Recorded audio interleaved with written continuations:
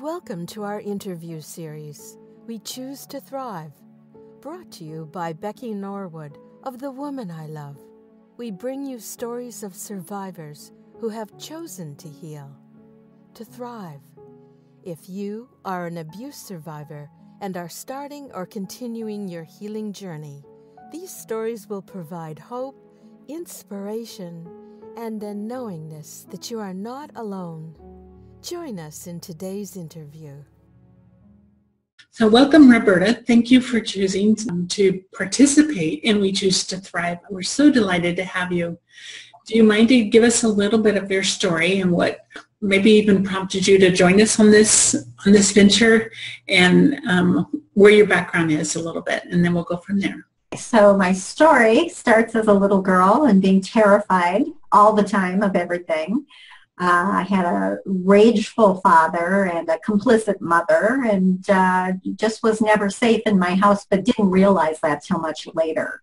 There were some alcohol issues with my father and uh, I would say he was an alcoholic. He would say he probably wasn't. It was a constant battle of, I don't know if it was a battle of wills or, or what, but he was uh, full of rage and, and hit me a lot. And uh, it was all very difficult and but I only lived where I lived so I didn't know that things weren't like that with everybody so in everybody's house and the big uh, turning point would be for me when when I was 16 and my father tried to kill me. I, I don't think he would have meant to kill me, uh, but he was just full of rage, and I don't know why I would make that excuse for him, but I never, I, I just don't think that he, well, yeah, he realized what he was doing. But anyway, he was bashing my head into the floor, and I was passing, I could feel myself passing out, and I knew that if I didn't get away, I would die right then. And uh, I ran out of the house with just the clothes on my back and no shoes and uh, wandered around until I, I don't even know whose house I went to to make a phone call to find my boyfriend to come pick me up.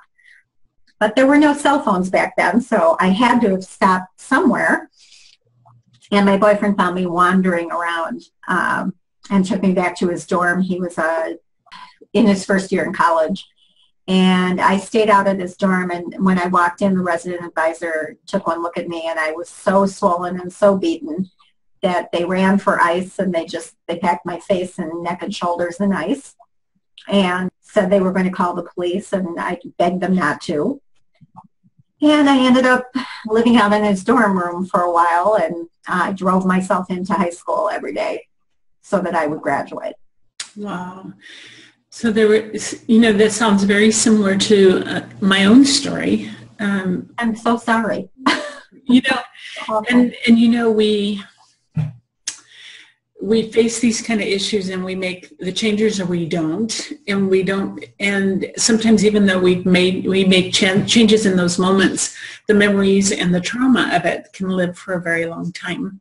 Mm-hmm. so what so you made this amazing change when you were 16 did the change last? Did he try to seek you out?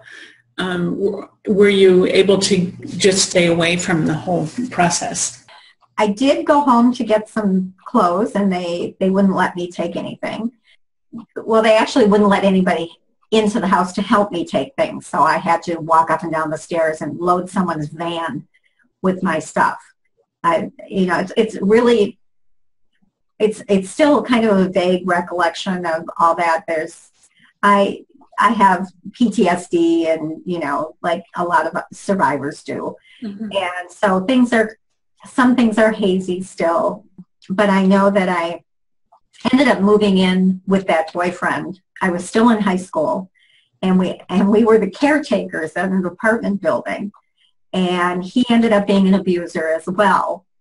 And I write in my book about what's more humiliating, having your father beat you up or have you, having your boyfriend beat you up. And I decided that it was more humiliating to have my father beat me up. And I ended up staying with this guy for quite some time. actually. It's typical when we've grown up in a situation that's abusive that we attract the same thing because that's all we know.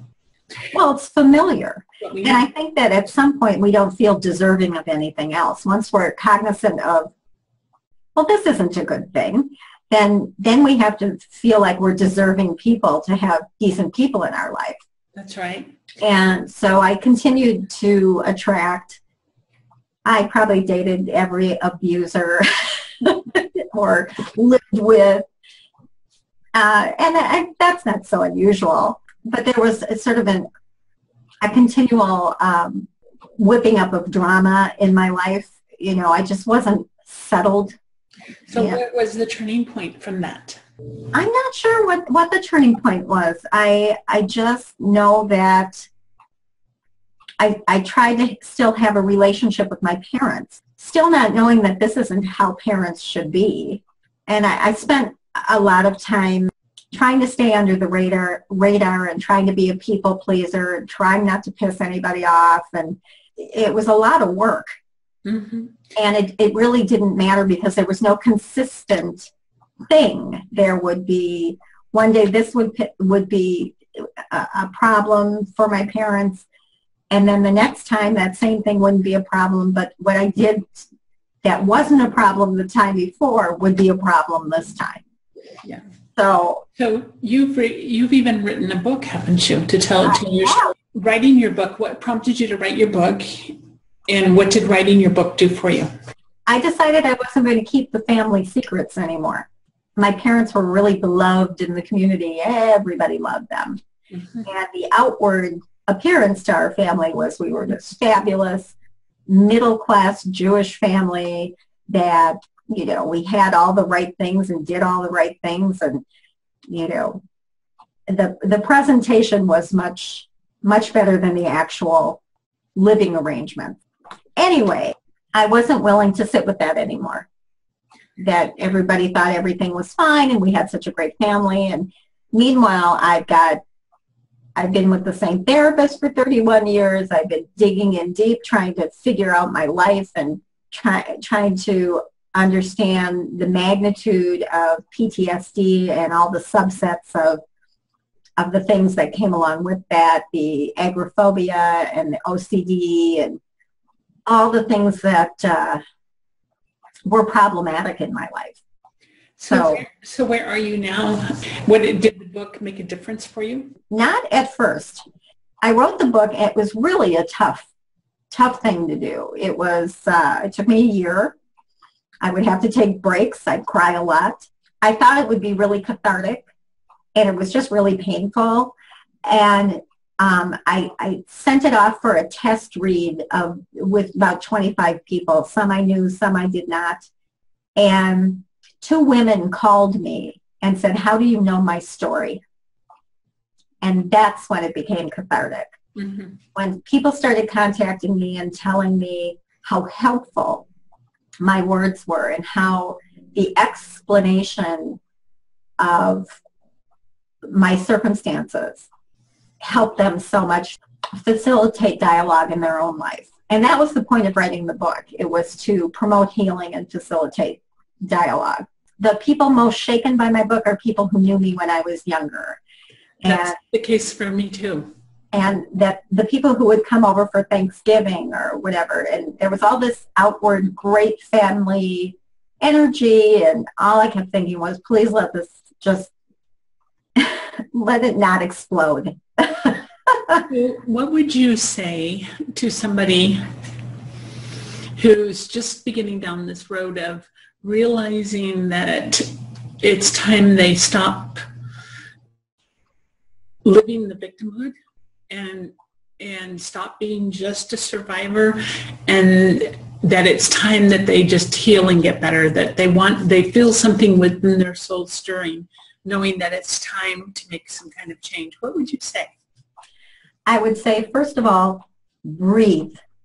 Breathe deep look into yourself and know that you're a good person and that you didn't choose this for yourself because nobody would choose this for themselves. Mm-hmm. But that takes a lot of work to get there.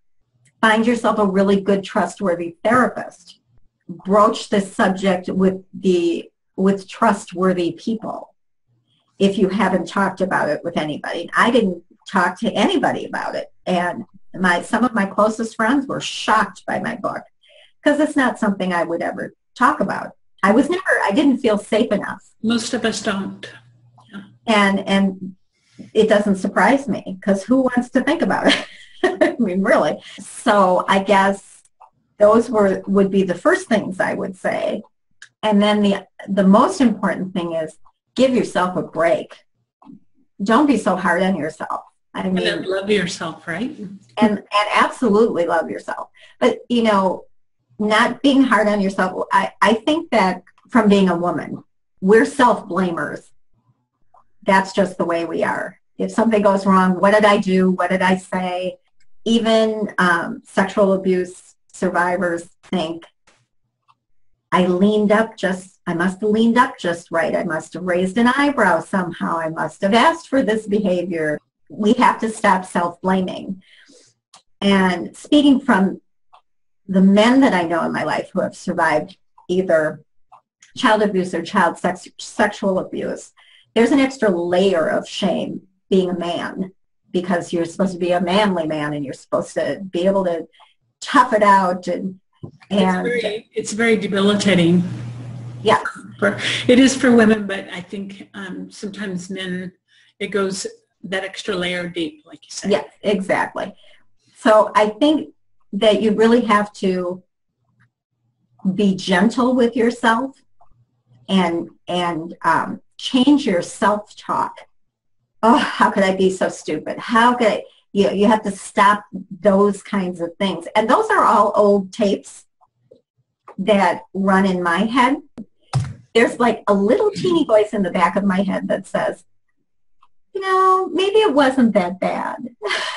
you know, and I think that that's partially because you're protecting yourself and and partially for self-preservation that you're minimizing the experience so it doesn't feel so terrible. Did you find that there comes a point where it's time to put the story away? I mean, not that you you get put the story away that you don't share it with somebody that really needs to hear it, but put the story away to where um, you can live a happier and richer life. Well, I, I never talked about it until just recently. Yeah. Until recently, so that's that hasn't been my experience. I certainly don't talk about it with everybody. Have you felt found a healing from sharing your story? Yes. Very good. That's that's what I, I think the way I meant to ask the question was. Okay, I understood it a whole other way. Yeah. Sorry. No, that's okay. So for me, the the healing power of telling our story is is amazing. Now you just don't go and tell it to everybody because there, there are people that will totally discredit that. But for the most part, standing up and telling our stories is what gives us the strength. It helps us to put the pieces of the puzzle together. It, mm-hmm. us, it gives us a voice that may, maybe for, for much of the time we didn't have. And right. we begin to understand a lot of pieces about ourselves, which, which promotes healing, you know. Yes, exactly. And it, um, what I always tell people is I, I want to stand in my truth and be my authentic self. Mm-hmm. And this is for the first time in my life that I get to be me and I get to say what, you know, say the things I need to say and have a backbone about it. Well, I am I'm enjoying hearing you speak this because I just turned 60 and on my 60th for my 60th birthday, I published my book.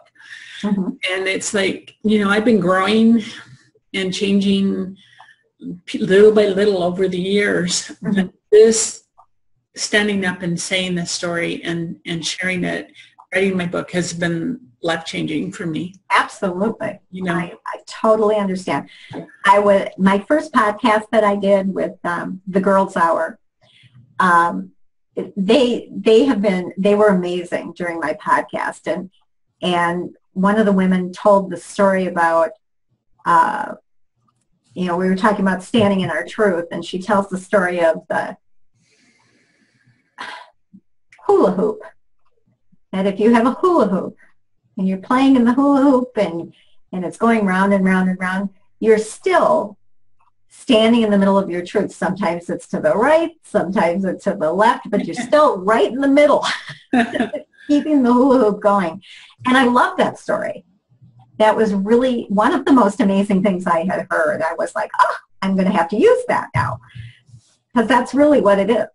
So that was called Girl Girls Power? Girls Hour. Hour, okay. Um, it's a LGBT, it was an LGBT focused website, podcast, radio show. They they are out of New Jersey and they they have a radio show in Australia.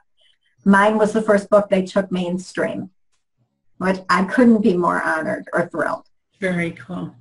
So. Thank you so much for sharing this time with us. And oh, what our goal is here is for everybody to, to, for as many as possible to stand up and share their story. Our main purpose is that we can be a voice of encouragement and a way for others to stand up and start finding their voice too you know and i think Absolutely. together we can heal because as we lock arms and, and support each other then that's where the strength comes from so Absolutely. Very, very much appreciate your taking the time and, and agreeing to being on our interview. I was very excited you asked me. So This story was brought to you by The Woman I Love at www.thewomanilove.com. If you are starting down the path to healing, no matter what stage, our united message is that you are not alone. We do not want to live with a victim mentality. We choose to thrive, and as such, we are joining hands to spread the message that you too can heal and thrive. Will you join us as a force of change we need in our world? Only by healing, growing strong, and uniting can we create the awareness of this terrible epidemic that is plaguing our world. We heal in many different ways. There is no one right way to heal, but the right thing to do is to heal. Heal for yourself, for your families, and for our world. Will you join us in this We Choose to Thrive revolution? Reach out to us at www.thewomanilove.com. Also, check out the incredible resources at www.rainn.org.